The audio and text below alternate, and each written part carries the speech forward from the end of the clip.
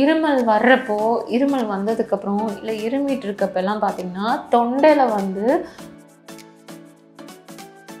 வாய் நல்லா ஓப்பன் பண்ணி நல்லா பார்த்தோம் அப்படின்னா உள்ளுக்குள்ளே அந்த உள்ளே இருக்கக்கூடிய அந்த பகுதிகள் ஃபுல்லாக அப்படியே செவந்து போயிருக்கும். இருதயத்தில் ஏதாவது பிரச்சனைகள் இருந்தாலும் கூட இருமல் வரும். சிறுநீரகத்தில் ஏதாவது பிரச்சனைகள் இருந்தாலும் கூட இருமல் வரும். இருமுனதுக்கப்புறம் அந்த தொண்டையில் இருக்கக்கூடிய சின்ன சின்ன இரத்த குழாய்கள் இருக்குது பார்த்திங்கன்னா அந்த இரத்த நாளங்கள் அது வந்து கொஞ்சம் கொஞ்சமாக அப்படி செதஞ்சு போயிடும். இல்லை அது வந்து இரிட்டேஷன்ஸ் ஆயிரும்.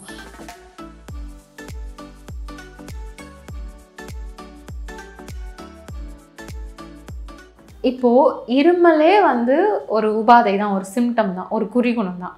இந்த இருமல் இருமலே வந்து எப்படி இருக்கும் அப்படின்னு பார்த்தீங்கன்னா சில பேர்த்துக்கு இருமல் வர்றப்போ இருமல் வந்ததுக்கப்புறம் இல்லை இருமிட்டு இருக்கப்பெல்லாம் பார்த்தீங்கன்னா தொண்டையில் வந்து புண்ணானது மாதிரியான ஒரு உணர்ச்சி இருக்கும். தொண்டை புண்ணாயிட்ட மாதிரி தொண்டைக்குள்ளே எரிச்சல் இது மாதிரிலாம் சில பேர்த்துக்கு வந்திருக்கும். அப்புறம் தொண்டையில் வந்து முள்ளு சொருகி விட்ட மாதிரியான ஒரு உணர்ச்சி இருக்கும். ஒரு மாதிரி குத்தி குத்தி இருமுற மாதிரி இருக்கும். சில பேர்த்துக்கு வந்து பார்த்திங்கன்னா தொண்டை அரிக்கிறது இருக்கும். அப்புறம் கொஞ்சம் தொண்டைக்குள்ளே நம்ம பார்த்தோம்னா நல்லா வாய் நல்லா ஓப்பன் பண்ணி நல்லா பார்த்தோம் அப்படின்னா உள்ளுக்குள்ளே அந்த உள்ளே இருக்கக்கூடிய அந்த பகுதிகள் ஃபுல்லாக அப்படி செவந்து போயிருக்கும். இன்ஃப்ளமேஷன் ஆகிருக்கும் ஸோ அந்த மாதிரியும் ஒரு சில பேர்த்துக்கு இருமல் டயத்தில் வந்து இருக்கும். இருமல் டயத்தில் சில பேர்த்துக்கு சளியும் கூட சேர்ந்து வெளியே வரும். சில பேர்த்துக்கு சளி இல்லாமல் வெறும் ட்ரை காஃபாகவும் இருக்கும் சில பேர்த்துக்கு. ஒரு சில பேர்த்துக்கு இருதயத்தில் ஏதாவது பிரச்சனைகள் இருந்தாலும் கூட இருமல் வரும். சிறுநீரகத்தில் ஏதாவது பிரச்சனைகள் இருந்தாலும் கூட இருமல் வரும். லங்ஸை சுற்றியோ இல்லை இருதயத்தை சுற்றியோ நீர் மாதிரி கோர்த்துக்கிட்டு இருந்தாலும் கூட சில பேர்த்துக்கு வந்து இருமல் வரும். அப்புறமா நம்மளுக்கு டஸ்ட்டு போய் உள்ளுக்குள்ளே பட்டு பட்டு படிஞ்சும் சில பேர்த்துக்கு வந்து இருமல் வந்து உருவாகும். அப்படி இருமுறப்போ பார்த்திங்கன்னா சில பேர்த்துக்கெலாம் பார்த்திங்கன்னா நெஞ்சு வலிக்கும். சில பேர்த்துக்கு அந்த கீழே இருக்கக்கூடிய அந்த வெலா எலும்பு இருமும்போது பயங்கரமாக வலிக்கும். அதுக்கப்புறம் தொண்டை வலிக்கும். தொண்டை புண்ணான மாதிரி வலிக்கும். தொண்டையும் பயங்கரமாக வலிக்கும். ஒரு பத்து தடவை பதினஞ்சு தடவை இருமிட்டாங்க அப்படின்னா இந்த இடம் ஃபுல்லாக வலிக்க ஆரம்பிச்சிடும் அதிகமாக ரிப்பீட்டடாக திருப்பி திருப்பி இருமுறப்பையும் வலிக்க ஆரம்பிச்சிடும் அப்புறம் சில பேர்த்துக்கெலாம் பார்த்திங்கன்னா இருமி இருமி இருமி இருமி அட் லாஸ்ட் கடைசியில் வாமிட் வர ஆரம்பிச்சிடும் அப்புறமா நம்ம சாப்பிடக்கூடிய சாப்பாடு இருக்குது பார்த்தீங்களா அது வந்து தவறுதலாக உணவு குழாய்களை போய் அடைச்சிக்கிடுச்சு அப்படின்னாலும் உடனே இருமல் வந்துடும் ஏன்னா அந்த அந்த உணவு பார்ட்டிகல்ஸ் வந்து வெளியேற்றுறதுக்காக இருமல் உடனே டக்குன்னு நம்மளுக்கு வர ஆரம்பிச்சிடும் அப்புறம் சில பேர்த்துக்கெலாம் பார்த்திங்கன்னா இருமுனதுக்கப்புறம் அந்த த்ரோட்டில் இருக்கக்கூடிய அந்த தொண்டையில் இருக்கக்கூடிய சின்ன சின்ன இரத்த குழாய்கள் இருக்குது பார்த்திங்கன்னா இந்த ரத்த நாளங்கள் அது வந்து கொஞ்சம் கொஞ்சமாக அப்படி செதஞ்சு போயிடும் இல்லை அது வந்து இரிட்டேஷன்ஸ் ஆயிரும். அதன் மூலமாக பின்னாடியே சளியோடையோ சேர்ந்தோ இல்லை எம்டியாவோ நம்மளுக்கு ரத்த கசிவு ஏற்பட ஆரம்பிக்கும். இருமி இருமி சில பேர் ரத்தத்தையும் கக்குவாங்க. அந்த மாதிரியும் ஒரு சில பேர்த்துக்கு இருமல் இருக்கும். இருமும்போது பார்த்திங்கன்னா சில பேர்த்துக்கு காது அடைச்சிக்கும். ஃபோர்ஸாக இருமுனாங்க அப்படின்னா திடீர்னு காற்று அடைச்சிக்கிற மாதிரி இருக்கும். இங்கே இருக்கக்கூடிய சளி வந்து நம்ம ஃபோர்ஸாக இருமுறப்போ என்ன ஆகும்னா அது போய் டப்புன்னு போய் நம்மளுக்கு அடைச்சிக்கும். அதனால் காது அடைப்பு சில பேர்த்துக்கு இருக்கும். சில பேர்த்துக்கு இருமும் போது சளி இங்கே கூட தொண்டைக்குள்ள வந்து மாட்டிக்கிடுச்சு அப்படின்னா தொண்டை அடைச்சது மாதிரியான ஒரு ஃபீலிங் சில பேர்த்துக்கு இருக்கும். அதுக்கப்புறம் ஒரு கண்டினியூஸாக ஒரு பத்து தடவை பதினஞ்சு தடவை இருமி முடிச்சிருவாங்க. திடீர்னு ஒரு பெரிய ஏப்பம் வந்து வெளியே வரும். அந்த காற்று சில பேர்த்துக்கு நல்லா ஃப்ரீயாக வெளியே போயிடுச்சு அப்படின்னா உடனே வந்து இருமல் வந்து கொஞ்சம் கொஞ்சமாக சப்ரஸ் ஆகிட்டு குறைய ஆரம்பிச்சிடும் அப்படி அந்த காற்று வெளியே வராமல் உள்ளுக்குள்ளேயே அடைச்சிட்டு இருந்துச்சுன்னா தொண்டை அடைச்ச மாதிரி நெஞ்சு அடைச்ச மாதிரி ஒரு இறுக்கமான ஒரு ஃபீலிங் அவங்களுக்கு அந்த இருமலை போய் இருந்துக்கிட்டே இருக்கும். அதை தாண்டி இருமல் அப்புறம் சில பேர்த்துக்கெலாம் பார்த்தீங்கன்னா இருமி இருமி மூக்குலேருந்து நீர் வடி ஆரம்பிச்சிரும். இருமி இருமி பார்த்தீங்கன்னா கண் அப்படியே கலங்க ஆரம்பிச்சிரும். அப்படியே கண்ணிலேருந்து பொழு பொழுன்னு அப்படியே கண்ணீராக ஊற்ற ஆரம்பிச்சிரும். இருமல் அப்போது நம்மளுடைய ஐம்புலன்களும் நம்மளுக்கு வந்து கலங்க ஆரம்பிக்கும். இருமல் வந்து அவ்வளோ ஃபோர்ஸாக வலிமையாகவும் இருமல் வந்து இருக்கும். அதுக்கப்புறம் பார்த்திங்கன்னா இருமும் போது நம்ம பேசக்கூடிய வாய்ஸு எல்லாமே குறைய ஆரம்பிச்சிடும் குரல் ஓசை முதற்கொண்டு குறைய ஆரம்பிச்சிடும் கரெக்டாக க்ரானிக்காக இருமல் இருக்கப்போ பார்த்திங்கன்னா வாய்ஸ் டிஃப்ரென்ஸும் தெரியும். சில பேர்த்துக்கு குரல் அப்படியே கம்மி போய் வர மாதிரி இருக்கும். சில பேர்த்துக்கு கட்டின குரல் மாதிரி இருக்கும். சில பேர்த்துக்கு தொண்டை அடைச்சிட்டு குரல் வராமல் கூட இருக்கும்.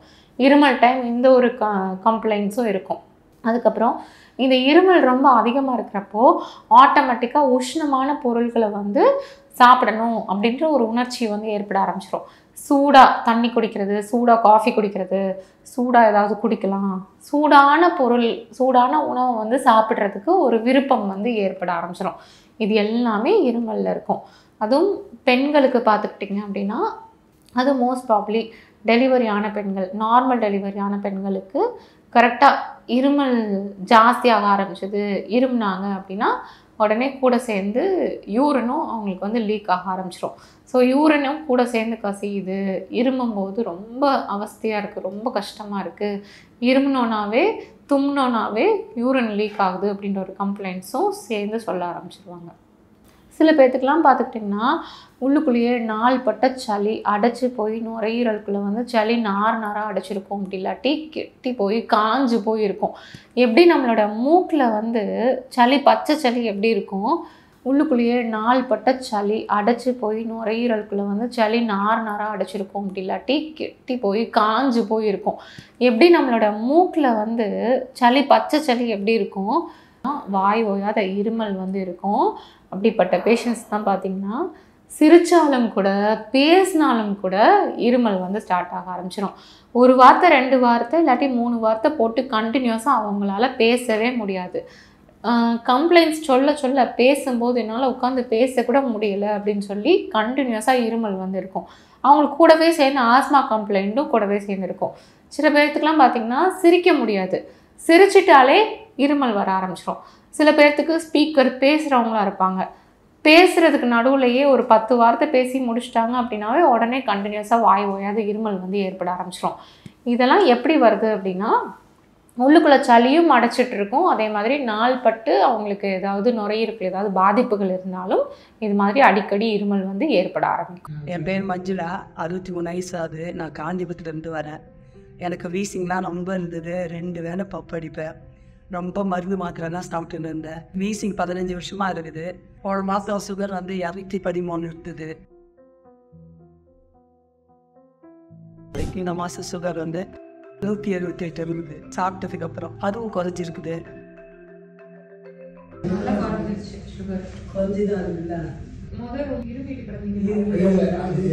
பேசவே முடியாது மூச்சு வாங்கிட்டு இப்போ பரவாயில்ல. நல்லா பேசுறேன் இரும்பலே அதுதான் அதிகமா இருமியில் தான் இருப்பேன். தான் வந்து சளி வருது. சளி வளர்ச்சிக்கல் இருந்தது அதுவும் பரவாயில்ல. ஆஹ் முட்டி வலி இருந்தது அதுவும் பரவாயில்ல நல்லா இருந்தது. இப்போ இங்கே ஒரு மாசமா வந்து மருந்து சாப்பிட்றேன். எல்லாமே நல்லா இருக்குது உடம்பு ரொம்ப ஆரோக்கியமா இருக்குது மருந்தும் நல்லா சாப்பிட்ற மாதிரி இருக்குது. எந்த குறையுமே இல்லை. நல்லா இருந்து என் பேர் செல்வகுமார். அது செல்வப்பாட்டி நான் வந்து ரில்ஸில் இருக்கிறேன். எனக்கு வந்து ஃபிட்ஸ் ப்ராப்ளம் இருந்தது.